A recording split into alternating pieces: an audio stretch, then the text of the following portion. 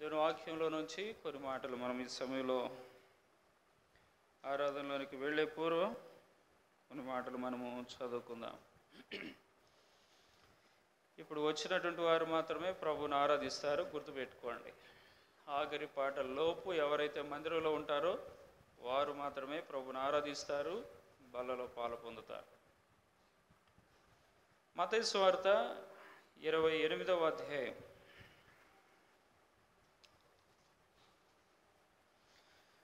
మతైసు వార్త ఇరవై ఎనిమిదవ అధ్యాయము.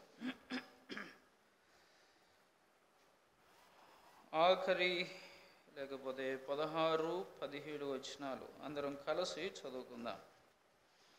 Matthew's gospel chapter twenty eight verses sixteen and seventeen. మతైసు వార్త ఇరవై ఎనిమిదవ అధ్యాయము పదహారు పదిహేడు వచనాలు మనము అందరము కలిసి చదువుకుందాం. పదునొకండు మంది శిష్యులు యేసు తనకు నిర్ణయించిన గలలేలోని కొండకు వెళ్ళిరి. వారు ఆయన చూచి ఆయనకు మృగిరి కానీ కొందరు సందేహించిరి. యోధా పత్రిక ప్రకటన గ్రంథానికి ముందుంటుంది. యోధా పత్రిక ఇరవై రెండవ వచనం. Jude verses twenty two.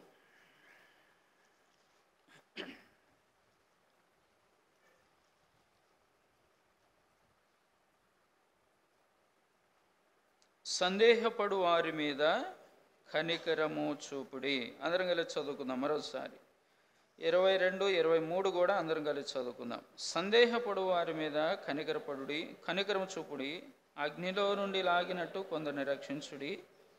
శరీర సంబంధమైన వారి అపవిత్ర ప్రవర్తనకు ఏమాత్రము నొప్పు కొనక దానిని అసహించుకొనొచ్చు భయముతో కొందరిని కరుణించుడి. ప్రభు సహాయం కొరకై చిన్న ప్రార్థన చేసుకుందాం.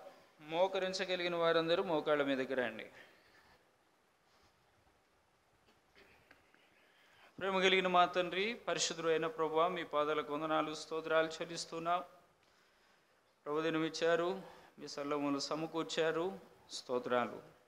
పాటల ద్వారా మీ నామానికి మయం తెచ్చుకున్నందుకు వందనాలు. దాని కొరకై మీరు ఇచ్చిన వాక్యాన్ని బట్టి స్తోత్రాలు. చదవబడిన వాక్య భాగమును ప్రభా మా కొరకు దీవించము ఆశీర్వదించము విరిచి పంచిపెట్టండి. దయలంతండి నిలబడిన మీ దాసును మీరు కనుకరించము. మీ యొక్క ఆత్మ అభిషేకమును అనుగ్రహించండి. తెరవబడిన ఆకాశమును మీ మెలలైన స్వరాన్ని మాకందరికీ వినిపించండి. ఇలాగ యోగ్యంగా వాక్యంలో నుంచి మీలను ఆరాధించటకు సహాయం చేయమని తగ్గించుకుంటూ మీ నామాన్ని హెచ్చిస్తూ చేరవచ్చిన మీ ప్రియుల మటి స్తోత్రాలు రావాల్సిన వారిని త్వరపెట్టి మీ సన్నిధికి నడిపించుకోమని యేసుక్రీస్తు నామంలో ప్రార్థించి వేడుచున్నాము తండ్రి. ఆమెను.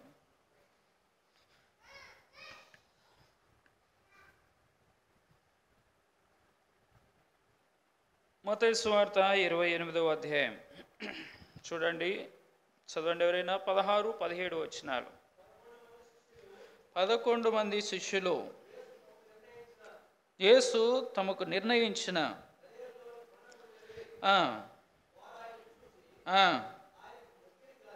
వారికి మొరకిరి కానీ సందేశించిరి. యేసు తమకు నిర్ణయించిన గలయలోని కొండకు వెళ్ళిరి. ఎప్పుడు నిర్ణయించాడండి? పదే వచనం.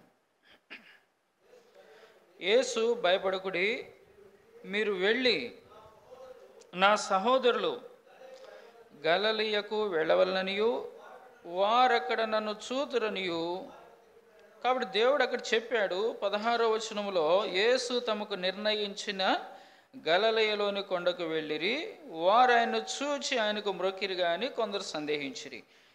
ఇది ఎప్పటి సందర్భం అండి?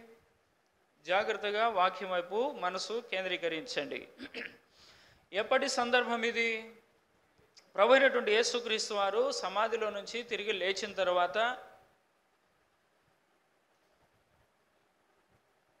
మరి అక్కడికి సమాధి దగ్గరకు వచ్చినటువంటి వారికి దేవుడు చెప్తూ వచ్చాడు నేను గలలీలో కనిపిస్తాను మీరు అక్కడికి రండి అని చెప్పాడు.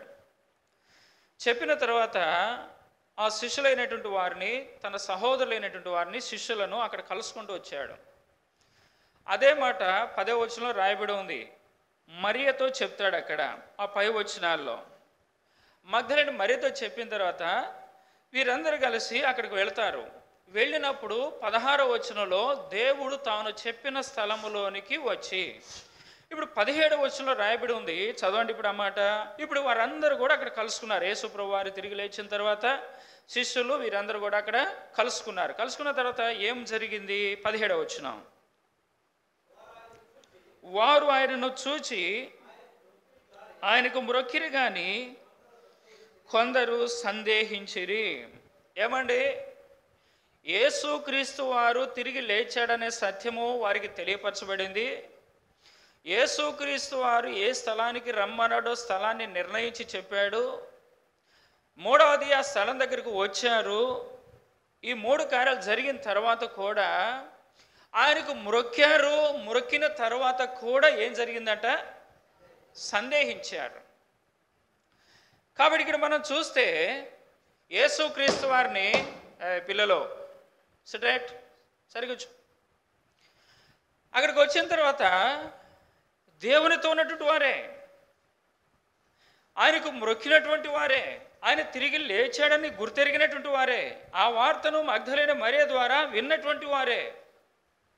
కానీ ఆఖరికి ఏం జరిగిందంట? సందేహించిరి. ఈనాడు మన యొక్క జీవితంలో కూడా యేసుక్రీస్తు వారు తిరిగి లేచాడు. యేసుక్రీస్తు వారు సులువేయబడ్డాడు యేసుక్రీస్తు వారు పునరుద్ధానుడయ్యాడు. యేసుక్రీస్తు వారు తనకి శరీరాన్ని మనకు ఆహారంగా ఇచ్చాడు. యేసుక్రీస్తు వారు తన రక్తాన్ని మనకు పానీయంగా ఇచ్చాడు. యేసుక్రీస్తు వారు తన రక్తంలో ప్రతి మానవునికి పాప క్షమాపణ ప్రాయశ్చిత్తాన్ని పాప క్షమాపణ దేవుడు మనకు అనుగ్రహించాడు. సర్వలోకములో దేవుని యొక్క ఇక సత్య సువార్త వాక్యము ప్రకటించబడుతూ ఉంటే నీవు నేను ఒకప్పుడు దేవుని యొక్క సంధికి వెలుపలగా ఉండి లోకములో ఉండి ఈ యొక్క వాక్యాన్ని మనం గుర్తెరిగి కూడా ఎంతో కాలము దేవుని యొక్క సన్నిధికి దేవుని శిలువకు రక్తానికి మరణ భూస్థాపన పునరుద్ధాన శక్తిలో పాలపంపులు లేనటువంటి వారంగా గ్రహించలేనటువంటి వారంగా సందేహిస్తూ మనము కూడా లోకం వైపు తిరిగినటువంటి వారం. కాబట్టి ఇక్కడ అంటున్నాడు పదిహేడవ వచనంలో యేసుక్రీస్తు వారి దగ్గరకు వచ్చారు ఆయనకు మ్రొక్కారు కానీ కొందరు సందేహించిరి. కాబట్టి సందేహించినటువంటి ప్రజలు ఉన్నారు అక్కడ. ఏమిటి? అక్కడ జరిగినటువంటి అద్భుతాలు చూసి కూడా యేసుక్రీస్తు వారు సమాధిని జయించి తిరిగి లేచినటువంటి సత్యాన్ని చూచి కూడా వాస్తవమే. ఒకవేళ క్రైస్తవుల కుటుంబంలో కూడా జన్మించుండొచ్చు. యేసు ప్రభువారు దేవుడని తెలిసి ఉండొచ్చు యేసుక్రీస్తు వారిలోనే పాప ఉందని తెలిసి యేసుక్రీస్తు వారి ద్వారానే పరలోక రాజ్యమని ఒకవేళ మనకు ఆ సత్యము ఆ, గ్రహింపులోనికి వచ్చి ఉండొచ్చు కానీ సందేహించినటువంటి వారా? లోకంలో ప్రభుకి దూరంగా ఉండి దేవుని బిడ్డలమై ఉండి దేవుని యొక్క పేర్లు పెట్టుకొని ఉండి ఒకవేళ దేవుని పేరు లేదేమో ఒకవేళ లోకంలో ఉన్నావేమో అనే జనాంగంగా ఉన్నావేమో ఆచారాల్లో ఉన్నామేమో ఈ యొక్క సత్యాన్ని గుర్తెరిగి కూడా మనము కూడా అనేక మార్లు సందేహించినటువంటి వారా. చూడండి దేవుని యొక్క వాక్యంలో కొన్ని మాటలు మనం చూసొక ఒక మూడు మాటలు నేను మీకు జ్ఞాపకం చేస్తాను. న్యాయాధిపతుల గ్రంథము ఆరవ అధ్యాయం జడ్జిమెంట్స్ చాప్టర్ సిక్స్ న్యాయాధిపతుల గ్రంథము ఆరవ అధ్యాయం.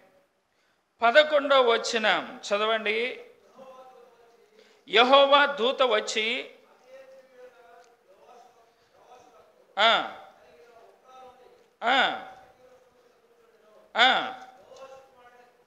యోవాష్ కుమారుడైన గిద్యోను మిథ్యానీలకు మరుగయుండునట్లు గానుగ చాటున గోధుమలు దొలగొరుకొనిచుండగా కనబడి పరాక్రమ కలిగిన బలాఢ్యుడా యహోవా నీకు తోడై ఉన్నాడని అనగా గీతోను ఆ,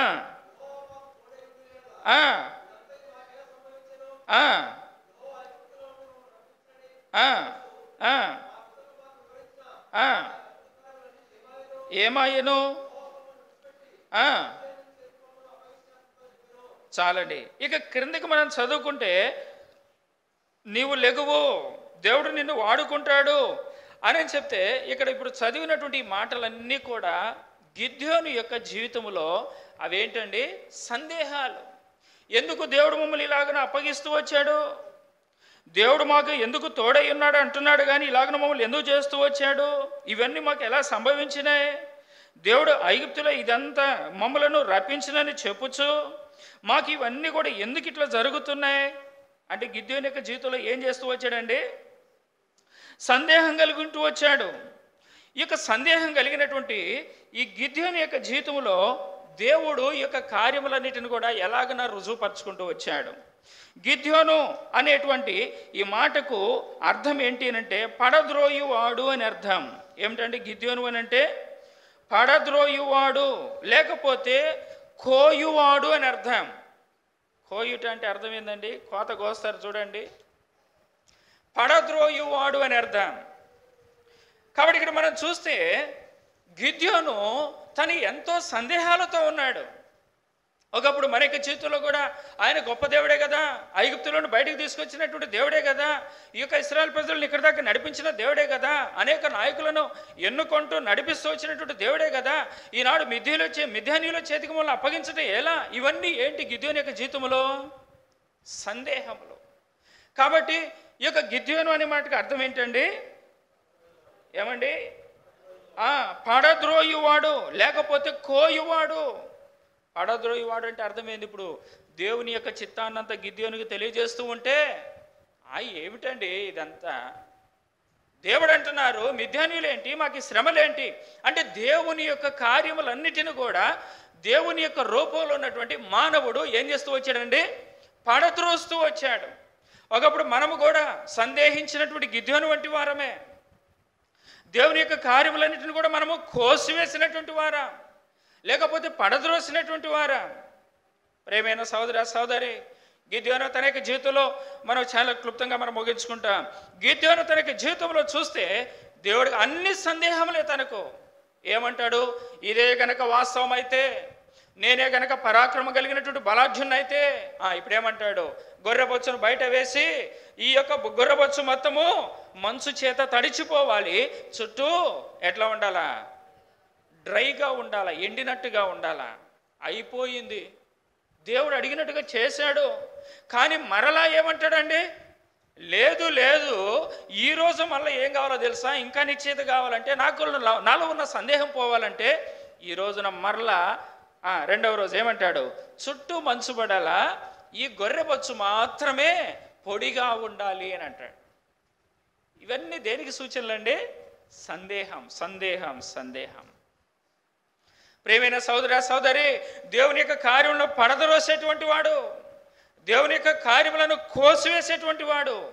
గిద్యోన్ అనే మాటకు అర్థం అది. పడద్రోయేవాడు కోయవాడు. వేటితో పడద్రోశాడు వేటితో కోసివేస్తూ వచ్చాడు? తన యొక్క సందేహాలను బట్టి. ఇలాడు మనకి జీవితంలో కూడా దేవుని యొక్క కార్యములను మనం కూడా సందేహించినటువంటి వారం గిద్యోను వలె. అయితే కృప కలిగినటువంటి దేవుడు నీ యొక్క సందేహములన్నిటికీ గిద్యోని యొక్క సందేహములన్నిటికీ ఆయన సమాధానం ఇస్తూ ఆయన్ను తృప్తిపరుస్తూ ఆయన సంతోషపరుస్తూ సందేహములు ఉండదు మానవుడా. ఎంత కృప కలిగిన దేవుడండి. మనం కూడా సందేహంలో ఉంటే మనలను సంతోషపరచడానికి యేసుప్రభువారు ఏం చేశాడు? ఎవరికి అసాధ్యమైనటువంటి సాధ్యము కానటువంటి కార్యాన్ని గిద్యోని యొక్క చేశాడు. ఏమండి? మనసు పడుతూ ఉంది. గొర్రె బొచ్చు మీద మాత్రమే పడొద్దు అన్నాడు ఒకరోజు. ఎవరు చేయగలడండి ఏ మానవుడు చేయగలడు దాన్ని? మరలా రెండో రోజు అంటాడు ఇది మాత్రమే తడవల దాని చుట్టూ పొడి కానీ ఏ మానవుడు చేయగలడండి?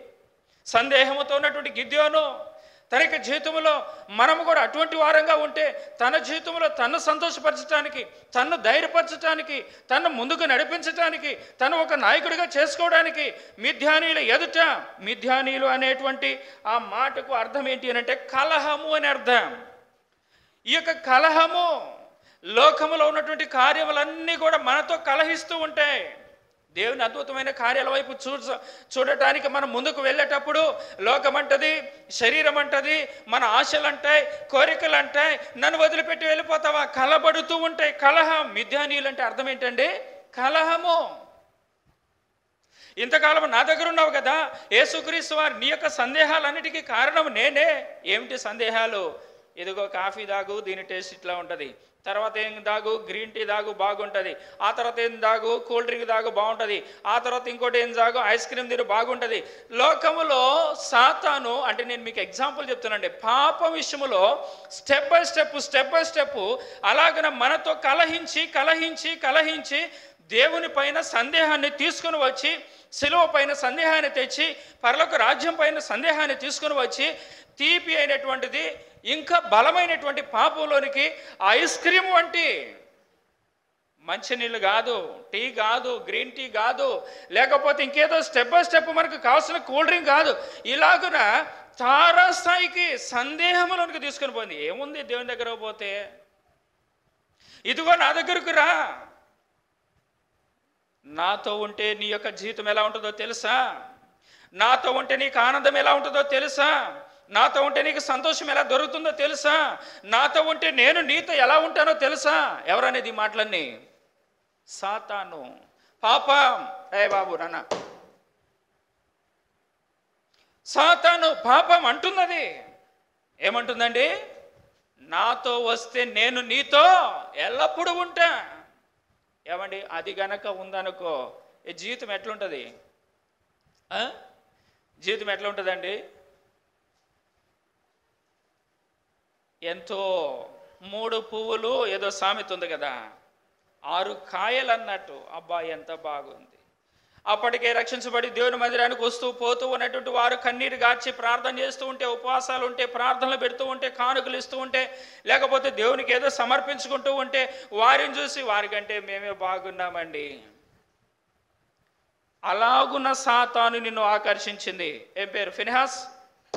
సిడమ్ కాబట్టి ఇక్కడ మనం చూస్తే గిద్యోని యొక్క జీవితాన్ని సాతాను ఏం చేస్తూ వచ్చిందంటే మిథ్యాను అనగా కలహం అని అర్థం. అది కలపడుతుంది దేవుని యొక్క కార్యమేమో గిద్యోని యొక్క జీవితంలో ఏం చేస్తుందండి? ఆశ్చర్యకార్యాలు చేయడానికి దేవుని యొక్క ఆత్మ ప్రయాసపడుతూ వచ్చింది. ఏం ఆశ్చర్యకార్యాలు? ఏ మానవుడు కూడా చేయనటువంటి తల మీ ముసుగులు చక్కగా వేసుకోండి స్త్రీలో. సిస్టర్ వేసుకోండమ్మా మీరే. కాబట్టి దేవుని యొక్క వాక్యమేమో గిద్యోని యొక్క జీవితంలో గొప్ప కార్యాలు చేయాలి. ఏ మానవుడు కూడా చేయకూడనటువంటి కార్యాలు చేయాలని దేవుని యొక్క ఆత్మ సందేహములో ఉన్నటువంటి గిద్దెను వంటి జీవితాలపైన మన యొక్క జీవితాలపైన కూడా ఒకప్పుడు అద్భుత కార్యాలు చేయటానికి దేవుడు మన వైపు తిరుగుతూ ఉంటే గిద్యోను వలె మనం ఏం చేస్తూ వచ్చామండి? గిద్యోన్ అనే పేరుకి అర్థం ఏంటి? పడద్రోయువాడు. దేవుని యొక్క కార్యాలన్నిటినేమో పడద్రోస్తూ వచ్చాం. రెండవ మాట గిద్యోన్ అనే మాటకు అర్థం ఏంటంటే కోయువాడు తెగవేయువాడు. కాబట్టి దేవుని యొక్క కార్యాలన్నిటినీ మనము కోస్తూ వచ్చాం. అంటే కోయటం అంటే అర్థం ఏంటి? ఉదాహరణ నేను మీకు జ్ఞాపకం చేస్తున్నా. కోత కోసినప్పుడు ఎట్లా ఉంటుందండి? నిలువబడినటువంటి మొక్కలన్నీ కూడా ఏమవుతాయి? తెల్లారిపాటి కోత కోసిన తర్వాత కింద పడిపోయి ఉంటాయి ఇంకా. కాబట్టి ప్రియమైన సోదర సోదరి గిద్యోను వలె దేవుని యొక్క కార్యం మనలో చేయాలని దేవుడు ఆశిస్తూ ఉంటే సందేహముతో ఉన్నటువంటి మనలను మరి పడద్రోయ పడద్రోసేటువంటి వారంగా మనం జీవిస్తూ వచ్చాం. దేవుని యొక్క కార్యాలను సందేహించాం. రెండోది ఏంటండి? దేవుని యొక్క కార్యములను మనం ఏం చేసామండి పడద్రోస్తూ వచ్చాం. దేవుని యొక్క కార్యాలను మనం కోసివేస్తూ వచ్చాం. తెగవేస్తూ వచ్చాం. కానీ సాతాన్ ఏం చేసింది? మీ ధ్యానం మీరు నా చేతిలో నుండి వెళ్ళిపోతారా? ఎవరిని? ఎవరినండి? మిథ్యానీలు ఎవరి మీదకి వచ్చారు? అర్థమవుతుందా? జాగ్రత్త గ్ర- గ్రహించండి. మిథ్యానీలు ఎవరు ఎవరి మీదకి వస్తున్నారు?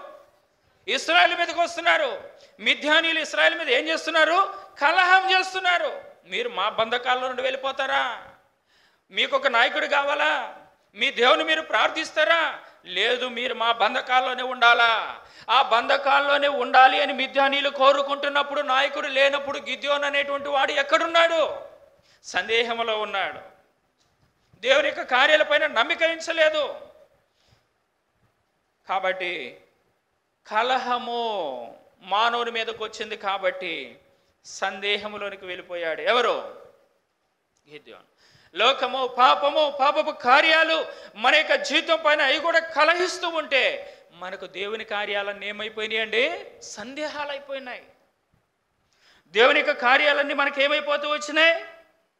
ఏమండి? ఏం చెప్పుకున్నాం? పడద్రోస్తూ వచ్చాం. కోసివేస్తూ వచ్చాం. నిజంగా దేవుడు ఎంత దుఃఖించుంటాడు. గిద్యోను వలె మనము కూడా సందేహంలో ఉంటే గిద్యోను వలె మనం కూడా దేవునికి కార్యాలు పడదరొస్తూ ఉంటే గిద్యోను వలె దేవునికి కార్యాలు మనం కూడా కోసివేస్తూ ఉంటే తెగవేస్తూ ఉంటే మిథ్యాను వచ్చి ఈ యొక్క గిద్యోను వైపు పడుతూ ఉంటే ఏం చేశాడు? ఏమీ చేతగాని వాడలాగా గానుగు చాటను కూర్చొని దేవుని యొక్క ఉద్దేశం ఏంటో తెలుసా? నా రూపంలో ఉన్నటువంటి వారు నా బిడ్డలు నా స్వాస్థములతో నేను చేసుకున్నటువంటి వారు నా యొక్క ఊపిరి చేత జీవిస్తున్నటువంటి వారు అలా ఉండటం ఇష్టం లేదు. సందేహములు ఉండటం ఇష్టం లేదు. ఇప్పుడు దేవుడు ప్రారంభించాడండి గిద్యోని యొక్క జీవితంలో. పరాక్రమ కలిగిన బలాఢ్యుడా నీ సందేహం అంతా పోవాలి. పరలోక రాజ్యమే మానవునికి మార్గం. యేసుక్రీస్తు వారి యొక్క రక్తమే మానవునికి పాప క్షమాపణ నిజమైనటువంటి దేవుడు ప్రభునటువంటి యేసుక్రీస్తు వారు సందేహం అంతా తెగవేయటానికి తీసివేయడానికి ఏం చేస్తూ వచ్చాడు ఇప్పుడు? గిద్యోను ఏం కావాలి చెప్పు? కలహాలన్నీ నీ మీద నుండి పోవాలా? మీ ధ్యానిలో నీ నుండి దూరం అయిపోవాలా ఏం చేయాలో చెప్పు? గొర్రెబొచ్చు తీసుకొచ్చి బయట వేసి ఇది నాకు చేయి. ఏ మనుషుడు చేయలేని గొప్ప కార్యం. అదంతా తడిగా ఉండమంటే తడిగా ఉంచాడు గొప్ప కార్యం కాదా? రెండో రోజు మరలా ఇదే పొడిగా ఉండాలన్నాడు. దేవుడు చేసిన కార్యం గొప్పది కాదా? గిద్యోని యొక్క జీవితంలో సందేహాలు దేవుడు తీసివేయలేదా? ఈనాడు నీ జీవితంలో నా జీవితంలో కూడా దేవుడు సందేహాలు తీసివేయలేదా? అతని సిలువ కార్యము చేత. తండ్రి అయిన దేవుడు తన ఏకైక కుమారుని మనకిచ్చి మన సందేహాన్ని తీసివేయలేదా? ఆ కుమారుడైనటువంటి యేసుక్రీస్తు వారు ప్రాణం నీ కొరకు నా కొరకు మన కొరకు ఊరకనే అర్పించలేదా? ఏమైనా మనం చెల్లించామండి? సజీవుడై తిరిగి లెగవలేదా లేచిన ఆ యేసుక్రీస్తు వారిని నాడు మానవుడు అంటున్నాడు. ఏమంటున్నారండి? మత స్వార్థ ఇరవై ఎనిమిదవ అధ్యాయం పదిహేడవ వచ్చులు అంటున్నాడు. ఆయనకు మురక్కిరి కానీ కొందరు ప్రేమైన సోదర సోదరి నిజంగా ఎంత దౌర్భాగ్యులం మనం కూడా. ప్రభువుని అంగీకరించక ముందు రక్షించబడక ముందు మన పాపములు యేసుక్రీస్తు వారి యొక్క రక్తములో మనము కడుగు కొనక మునుపు మనం కూడా సందేహించి దేవుని యొక్క దృష్టిలో సందేహముతో కూడుకున్నటువంటి జీవితాన్ని చూపించి దేవుని ఎంత కన్నీరు కార్పించాం. దేవునికి ఎంత దూరంగా ఉంటూ వచ్చాం. ప్రభా వాస్తవమే తండ్రి నేను కూడా సందేహించాను.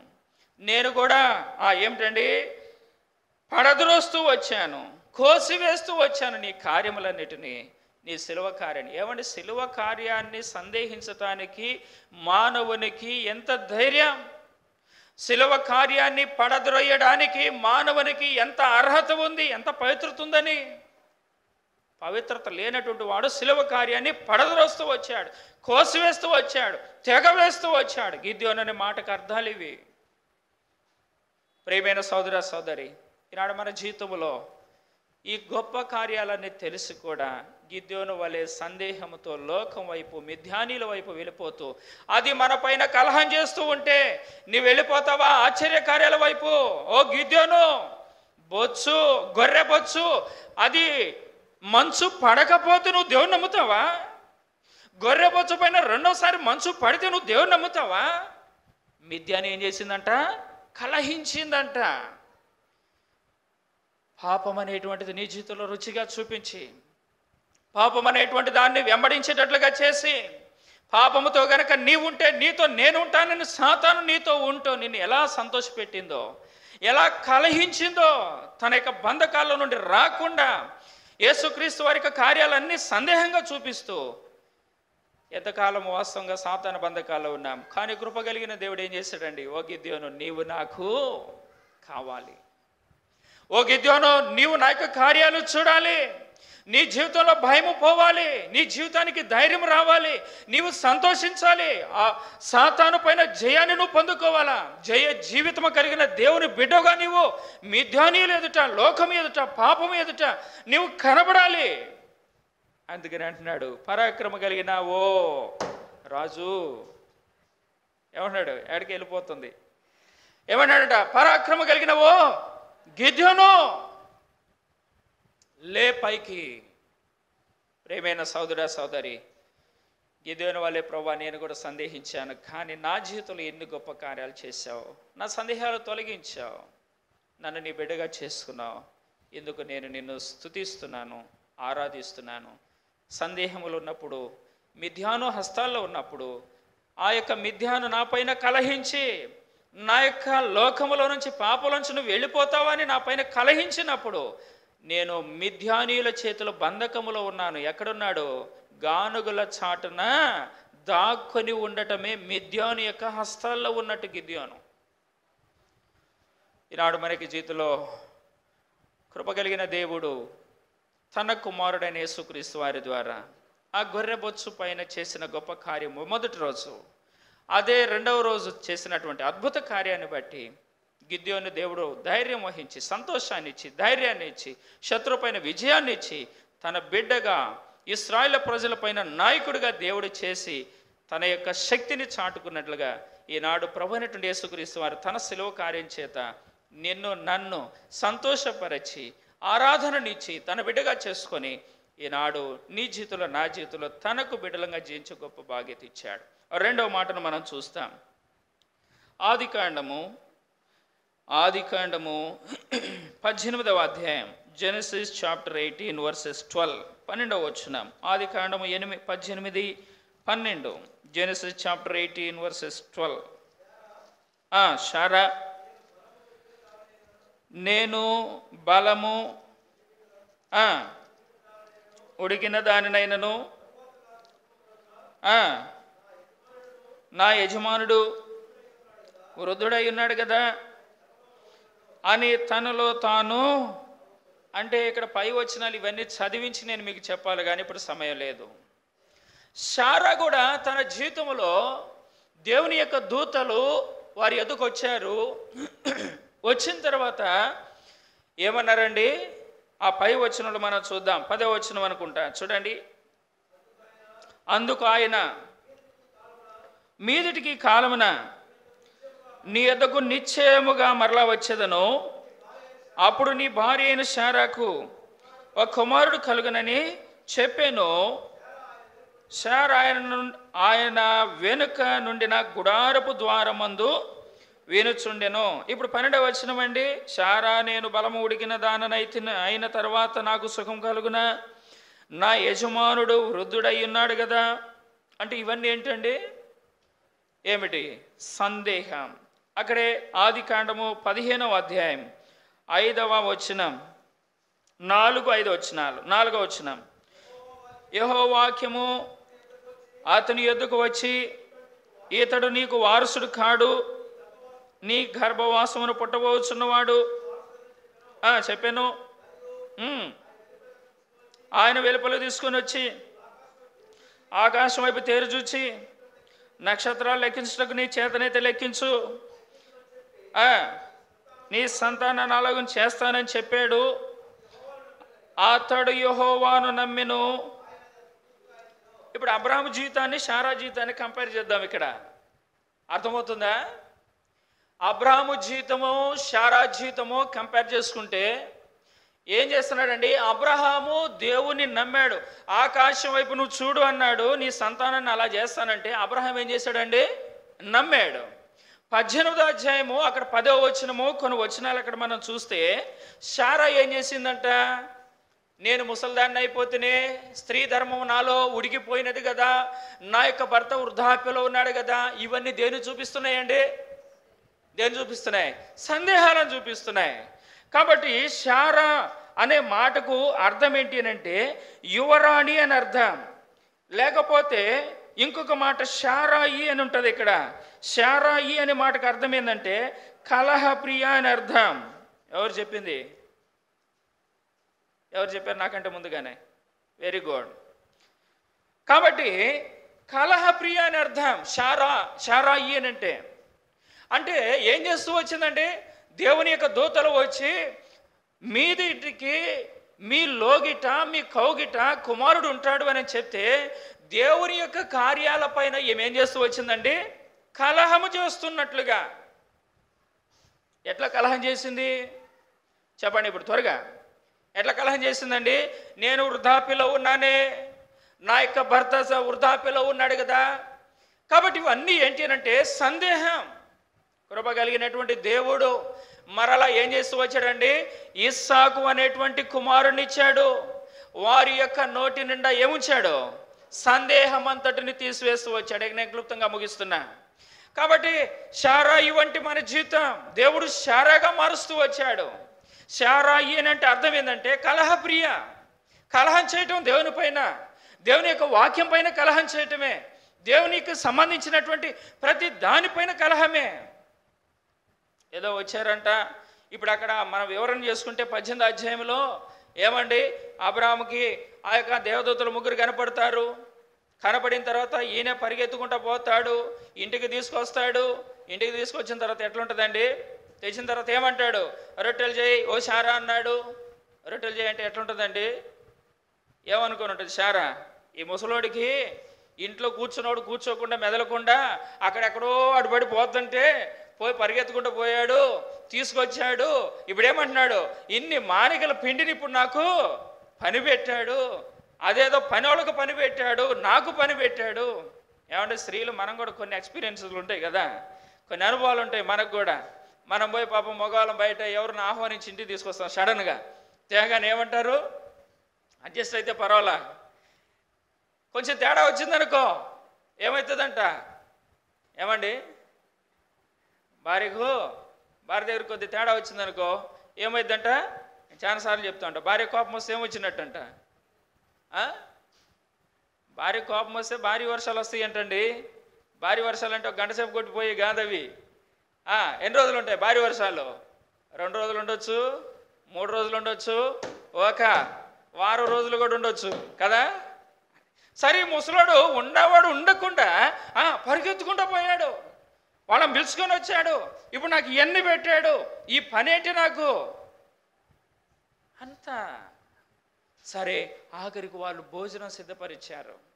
సిద్ధపరిచిన తర్వాత ఇప్పుడు అంటున్నాడు వారు తింటూ ఉన్నారు.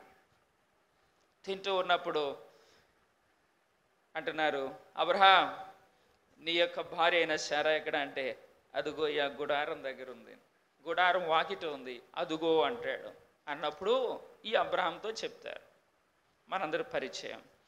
అయితే శారా ఏం చేసిందంట? సందేహించింది. కాబట్టి ప్రియమైన సోదర సోదరు ఒకప్పుడు మనం కూడా దేవుని కార్యాలను ఏమి సామాన్యమైన కార్యం అండి అది? వృద్ధాప్యములో తొంభై సంవత్సరాల వయసులో కుమారుడు జన్మించుట అంటే అది సామాన్యమైనటువంటి సంగత కాదు. అయితే సందేహములను దేవుడు తన అద్భుతమైన కార్యముల ద్వారా గిద్యోని యొక్క జీవితంలో సందేహములను తన అద్భుతమైన కార్యముల ద్వారా దేవుడు తొలగించాడు. షారాయి కలహప్రియను దేవుని కార్యాలపైన సందేహముతో ఉన్నటువంటి ఈ యొక్క దేవుని ఎందుకో దూతలు పిలుచుకొచ్చాడంట కలహప్రియ. అండ్ కొంతమంది ముందు కలహానికి కయ్యం దూస్తూ ఉంటారంటారు చూడండి. ఎప్పుడు కలహానికి సిద్ధంగా ఉంటారు కొంతమంది. కాబట్టి షారాయ్ దేవుని పైన గిద్యోను దేవుని పైన మిథ్యానుల చేతిలో ఉండి దేవుని పైన గిద్యోన్ చేసినట్లుగా. కాబట్టి కలహప్రియ అదే చెప్పాను కదా ఈ ముసలోడు కూర్చున్నాడు సరిగ్గా కూర్చోకుండా ఏం చేశాడు? అక్కడ తీసుకొచ్చాడు. రొట్టెలు చేయాలంట మాంసం చేయాలంట. ఇప్పుడు మళ్ళీ చూడు తినే తినకుండా నా ముసల్దాన్నైనా నాకు స్త్రీ ధర్మం ఉడిగిపోయిన నాకు ఏమని చెప్తున్నారు చూడు? తినేటప్పుడు ఏ మాటలైనా చెప్తారు కదా కొంచెం పోగటానికి అని అనుకుందేమో శారా. ప్రియమైన సోదర సోదరి నిజంగా దేవుడు ఎంత కృప కలిగిన దేవుడు అంటే కలహప్రియ సందేహము. దేవుని యొక్క కార్యాలపైన కలహించేటువంటి జీవితములను సందేహముతో ఉన్నటువంటి జీవితములను శ్రేష్టమైన ఏ మానవుడై చేయగలడండి? తొంభై సంవత్సరాల వయసులో కుమారునిచ్చి? ఏ మానవుడు వల్ల అవుతుందా? లేదు. దేవుడు ఆ కార్యాన్ని చేస్తూ వచ్చాడు. తన జీవితము నిండా నవ్వునుంచాడు. ఈనాడు మనకి జీవితంలో కూడా ప్రభా సందేహంతో ఉన్నటువంటి మా జీవితాలు మా నోటి నిండా నవ్వు ఉంచావు. నీ కుమారుడైన యేసుక్రీస్తు వారి ద్వారా. మూడవ మాట యోహన్ స్వార్త పదకొండవ అధ్యాయం John chapter eleven. John gospels chapter eleven verses thirty nine. ముప్పై తొమ్మిదో వచ్చిన యోహాన్ స్వార్త పదకొండవ అధ్యాయం ముప్పై తొమ్మిది. యేసు రాయి తీసివేయడని చెప్పగా చనిపోయినటువంటి సహోదరైన మార్త ఆ, చనిపోయి నాలుగు దినములైనది గనుక సరే చాలండి ఇది కూడా మనకు బాగా పరిచయమైన మాటే. ఇది కూడా ఏంటండి? ఈ సందర్భం కూడా సందేహమే. లోకాస్వార్త పదో అధ్యాయంలో మనం చూస్తాము ఆఖరి వచ్చినాల్లో అక్కడ ఏమని రాయబడి ఉంటుందంటే ఓ మార్తా మార్తా ఈ సందేహాలు ఉండేటువంటి వారికి ఉండే లక్షణాలు అక్కడ కనపడతాయి. ఏమంటదండి? చదవండి ఒక్కసారి అక్కడికి వెళ్దాం. లోకాస్వార్త పదవ అధ్యాయం. Luke's gospel chapter ten last verses. చూడండి. లోకస్వార్త పదవ అధ్యాయము ఆఖరి వచనాల్లో కొన్ని విషయాలు ఉంటాయి అక్కడ. చదవండి. నలభై ఒకటి నలభై నలభై వచనం నుండి. సందేహాలు కలిగిన వాళ్ళు విస్తారమైన పని పెట్టుకుంటారు. దేవుని కార్యాలను చూడరు వాళ్ళు. తొందరపాటు ఉంటుంది సందేహంలో. ఆ.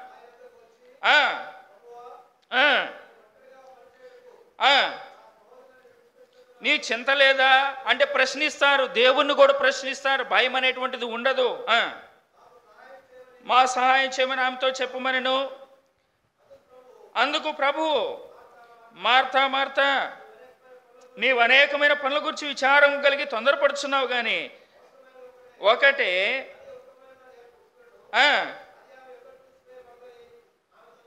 చాలండి. ఇప్పుడు ఎవరు మనం చదువుకుంది? యోహన్ స్వార్థ పదకొండవ అధ్యాయంలో ముప్పై తొమ్మిదవ వచనంలో ఏమంటదండి అక్కడ? ఓ మార్తంటది మరలా యేసుప్రభు వారితో ఆయన అప్పటికే కన్నీరు విడుస్తున్నాడు సమాధి దగ్గరకు వచ్చి లాజర్ గురించి ఆ కుటుంబం గురించి ఎంతో బాధితున్నాడు బైబిల్లోనే ఎవరి గురించి కన్నీరు కార్చినట్లుగా దేవుని గురించి లేదు కానీ కుటుంబం గురించి దేవుడు ఏం చేశాడండి? కన్నీరు కాచినటువంటి దేవుడుగా ఉన్నాడు. ఇంత భారం కలిగి ఉంటే ఇప్పుడు మార్త అంటుంది సందేహం కలిగిన మార్త తొందరపాటు కలిగిన మార్త దేవుని యొక్క కార్యాలు ఏ మాత్రం కూడా ఖాతరు చేయనటువంటి మార్త. ఏమంటుంది ఇప్పుడు? అయ్యా నాలుగు దినాలు అయింది అది ఆయన క్లోజ్ చేసి అది మూసివేసి ఆయన ఇప్పుడు ఏం కనపడుతుంది ఇది? అంతేనా పెద్ద? ఏం కనపడుతుంది అక్కడ? మార్తకి ఏం కనపడుతుంది? సందేహం. ఈ సందేహాలతో ఉన్నటువంటి మానవుని యొక్క జీవితాన్ని దేవుడు పటాపంచలు చేసి దేవుడు తనకి శక్తి చేత నింపి ఇదిగో నేనే మార్గమును నేనే సత్యమును నేనే జీవమునై ఉన్నాను. మీ యొక్క సందేహం అన్నిటికీ జవాబు ఇదే. లాజరు లేచి బయటికి రా అని అక్కడ చెప్తూ వచ్చాడు. ఏ కార్యం చేత సందేహం పోయిందండి అక్కడ? అర్థమవుతుందా? ఏ కార్యము చేత సందేహము తీర్చబడింది మానవుని యొక్క జీవితంలో? గిద్యోని యొక్క జీవితంలో ఏ మాట చేత ఏ కార్యాల చేత దేవుడు సందేహాన్ని తీర్చాడు? షారా యొక్క తన జీవితంలో ఏ మాట చేత తన సందేహాన్ని తీర్చాడు? ఏ కార్యం చేత? మార్త యొక్క జీవితంలో ఏ కార్యము చేత? వర్ణించటానికి ఏ మనుషుడికైనా వీలవుతుందా? గొర్రెబొచ్చు ఒకవేళ తడిగా చేయొచ్చేమో? శారా తన యొక్క జీవితంలో వృద్ధాప్యుల కుమారుని ఒకవేళ డాక్టర్లు ఆయుర్వేదిక్ మెడిసిన్ ఆ మెడిసిన్ ఈ మెడిసిన్ చేసి ఎప్పుడు తెచ్చుకోవచ్చేమో? చచ్చిన వాణ్ణి లేపుట ఏ మానవునికి సాధ్యం? సందేహంతో ఉన్నటువంటి మారుతి యొక్క జీవితమును దేవుడు అన్నాడు లాజరు లేచి నువ్వు బయటికి. చచ్చినటువంటి వాడిని ఏ ఎవరు లేపుతారండి? ఏదో నిన్న మొన్న ఈ వారంలో వచ్చింది సోషల్ మీడియాలో ఎవరండి? వాళ్ళు ఎవరో చదువుకున్న పేరెంట్స్ అంట కాలేజీ ప్రిన్సిపాల్స్ అంట ఇద్దరు కుమార్తెలు అంట ఆ ఇద్దరు కుమార్తెలు ఏం చేశారండి? క్షుద్ర క్షుద్ర పూజలు చేసి నోట్లో ఏదో రాగి చెంబు పెట్టి డబ్బులు పెట్టి వాళ్ళను శూలమ చేత చంపేశారంట. ఏం చేయాలని? ఏం చేయాలండి? మళ్ళా తిరిగి లేస్తారు వాళ్ళు. లేచారా? ప్రేమైన సోదర సోదరి ఈనాడు మనకి జీవితంలో గుర్తుంచుకోవాలి. సందేహమవుతున్నటువంటి మన బ్రతుకులు లోకం వైపు వెళ్ళి ఇదిగో ఇదే బాగుంది కదా ఇదిగో ఈ సుధమ బాగుంది కదా ఈ ఐగుప్తు బాగుంది కదా ఐగుప్తులో ఉన్న కీరకాయలు దోసకాయలు బాగున్నాయి కదా ఈ లోకం ఎంత బాగుందో చూడు. దేవుని దగ్గరకు పోతే ఆ యేసు ప్రవ్వారంట దైవ కుమారుడుగా వచ్చాడంట. ఆయన సిలువ వేయబడ్డాడంట. ఆయన రక్తములో పాప క్షమాపణ ఉందంట. ఆయన నమ్ముకుంటే పరలోక రాజ్యం అంట ఇవన్నీ సందేహాలు. సాతం దగ్గరికి పోతే ఏమండి? మరలా అవే జ్ఞాపకం. ప్రేమైన సోదర సోదరి ఈనాడు మన జీవితంలో గుర్తుంచుకోవాలి. ప్రభా నా యొక్క బ్రతుకు నా మాటలు నా ఆలోచనలు నా ప్రవర్తన నా యొక్క జీవితం అంతా సందేహమే.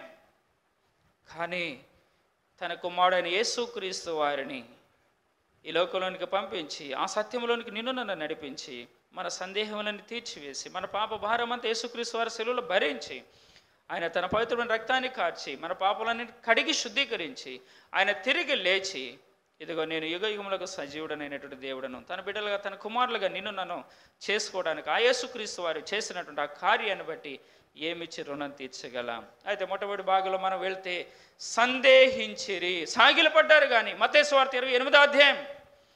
ఎన్నో వచ్చిన పదిహేడవ వచ్చిన వారు ఆయన చూచి మ్రొకిరి కానీ అదే అండి మనం కూడా ఈ జాబితాలో ఉన్నటువంటి వారమే. మనం కూడా ఈ లిస్టులో ఉన్నటువంటి వారమే ఒకప్పుడు. ప్రేమైన సోదర సోదరి ప్రభు నా జీవితం అంతా సందేహమే. దేవులోకి పోతే అంతా కష్టం దేవులో పోతే అంతా క్రమం దేవులో పోతే అంతా ప్రశ్నలు దేవులో పోతే అంతా కండిషన్స్ కానీ లోకంలో ఉంటే ఏమిటండి? ఎవరు మనల్ని ఏమడుగుతారు? ఈనాడు కృప కలిగినటువంటి దేవుడు అద్భుతాలు ఆశ్చర్య కార్యాలు దేవుడు నీ పట్ల నా పట్ల గిద్యోని జీవితంలో శారా జీవితంలో మార్త జీవితంలో దేవుడు చేసి సందేహములన్నిటికీ జవాబును దేవుడు తీర్చి తన బిడ్డలుగా ఎలాగనా ఏర్పాటు చేసుకుంటూ వచ్చాడో.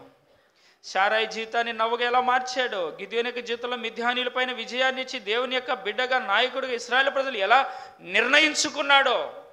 మార్త యొక్క జీవితంలో నాలుగు రోజులకు కంపగొడుతుందంటే సజీవమైనటువంటి తన చక్కని లాజర్ని మరలా ఆ కుటుంబంలోనికి ఎలా చేర్చి కోల్పోయిన సంతోషాన్ని ఇచ్చాడో.